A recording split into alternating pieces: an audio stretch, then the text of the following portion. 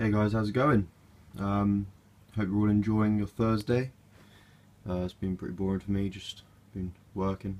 But um, before I get into the video, I just want to apologise for the haziness of the water. I've had this film developing on the top of the tank, and I've just pointed all the outlets up, and it's slowly clearing. I've got the internal filter blowing out there, and the external filters blowing out there. It's slowly clearing, but it's causing the whole tank to go a bit hazy. So um, I apologise for that. Um, I thought I'd do follow up on the um, fish species care. I did the golden nugget pleco beforehand. Uh, this week I thought I'd do the Corydoras sterbai, or sterbai cory, depends on your pronunciation. Um, there are 12 of them in this tank. They are great community fish. I can't recommend them higher. Um, they're just really playful to watch. They're always busy eating. There's one there.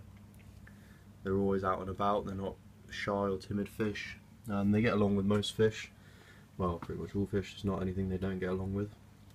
Um, they can accept a wide range of range of pH.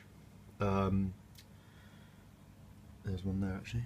Oh no, he's gone. Maybe not. Um, yeah, wide range of pH.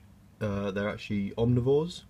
Uh, I've heard people say they're herbivores, but from personal experience, when feeding discus, um, I put in the beef heart and they munch out on that, so they're omnivores. I've figured out.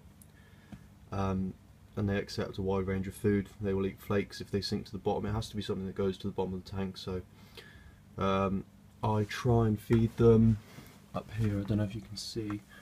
I'll just grab it. Oh, we'll drop it on front of the tank. I've got this. These are vegetable sinking pellets. Perfect. They're just really easy. All the fish love them.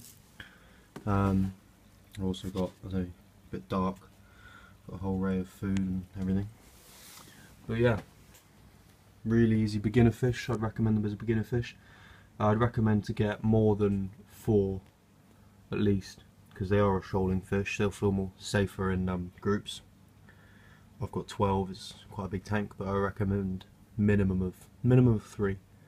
I'd say three, but um, all of them are hiding at the moment. I can't find any. Oh no, there's one over there. But um, these aren't fully grown. They will get to about two and a half, three inches. These ones are about an inch and a half at the moment. But um, really sociable fish, really happy fish. There's a couple there. Um, they can be quite expensive. They're some of the more expensive um, cories. These are about they were about six pound a fish. So when you get 12 of them, that adds up. But I reckon they're well worth it. There's a big group of them back there, and um, they're good for cleaning out the substrate as well.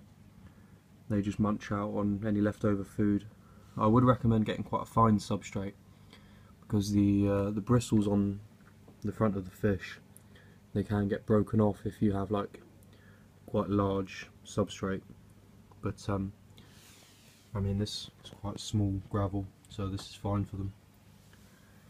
But um, yeah I wouldn't really go any larger than this. I mean they prefer sand so they can sift through it but I'm not going to change the whole of my substrate for 12 fish I mean that'll be a lot of work. But yeah, everything's going well. Hope you guys are all having a good week. Everything else is fine. Everything in that tank's fine as well. Um, I'll be keeping the videos coming, guys. Hope you're enjoying them. See you later.